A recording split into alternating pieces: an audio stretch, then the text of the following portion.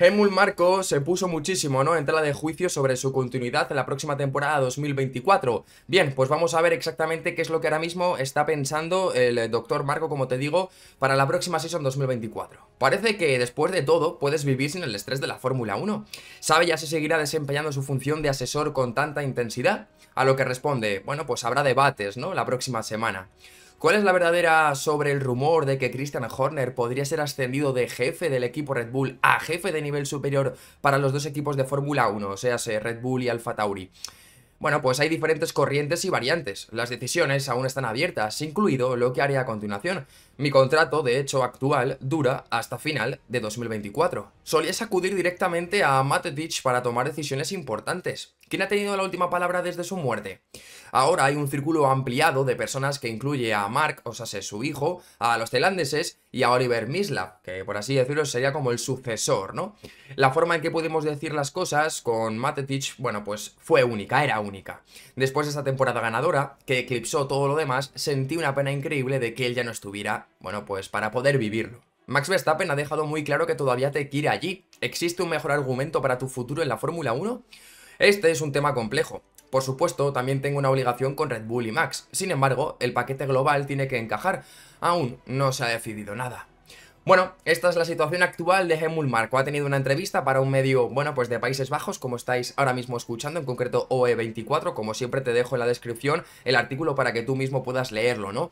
A mí lo que más me ha interesado y por lo que os estoy trayendo este vídeo, damas y caballeros, es porque todavía, bueno, hay diferente prensa que por lo menos se atreve a preguntar a Marco, oye, ¿qué lo que con eso, no? ¿Qué lo que con esos rumores de hace un par de semanas, de hace un par de meses, de, de que a lo mejor estás el próximo año, de que Verstappen te quiere ahí sí o sí y que si no a lo mejor se acaba marchando?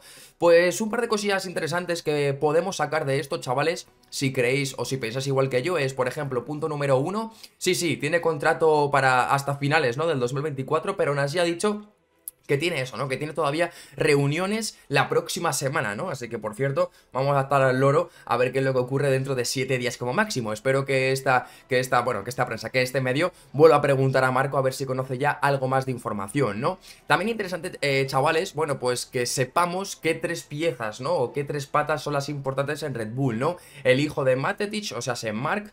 También está el tema de los tailandeses, ya sabéis, lo que muchas veces hemos hablado. Y también está como el actual sucesor, vamos a decirlo así, de Matetich, pero el padre, ¿no? El hijo que sería Oliver Mislav, ¿no? Este es el tema que también muchas veces eh, hemos, tratado aquí en los vídeos sobre tailandeses y austriacos, ¿no? Que Sergio Pérez y que Horner, si los tenemos que meter en un saco serían, bueno, en el saco de los tailandeses y también tenemos el otro saco, ¿no? En el cual en los austriacos podríamos poner tanto a Mark, tanto a Mark por la cara, tanto a Helmut Marco como Max Verstappen y el entorno de Max Verstappen, ¿no? Yo no sé si durante este invierno van a haber reuniones. Marco en principio nos ha confirmado que por lo menos él sí que va a tener alguna que otra reunión, ¿no? Y tampoco se ha querido mojar muchísimo sobre el puesto, ¿no? Que a lo mejor tiene Horner, a lo mejor no en el 24, pero sí en el 25, ¿no? Porque claro, si se acaban fumando a Marco, ¿quién se hace como el portavoz, el responsable de Alfa Tauri, ¿no? Que era una cosa que normalmente Horner no es que le hiciese mucho caso, ya sabéis que si fuese por Horner él se queda con Red Bull y al tomar por culo, pero es que el proyecto de Toro Rosso, de Alfa Tauri, es tema de los austriacos, ya lo sabéis, ¿no? Es tema de academia, de jóvenes pilotos, es tema, por ende, de Helmut Marco, ¿no? Claro, si se lo acaban fumando, si al final no deciden continuar con este señor, Horner entonces se convertiría también en ese máximo responsable de esa otra escudería y ante eso no hemos tenido respuesta, ¿no? Por tanto, podemos sacar un par de enclaves interesantes de este señor. Sobre todo, lo que más me gusta es que todavía se siga poniendo en tela de juicio su continuidad y que se tenga que seguir defendiendo y que por ende, con esas defensas y con esas justificaciones, nos dé información importante, como la de que sí, en una semana o así tendremos una próxima reunión a ver qué es lo que pasa conmigo, pero ojo, eh, tranquilidad que yo tengo contrato hasta el 24, sí, Sí, sí, pero mañana tienes una reunión, ¿no? O sí, sí, pero en tres días, hermano, el martes, el miércoles de la próxima season, de la próxima semana, perdona, igual tienes una reunión importante con los de arriba, ¿no?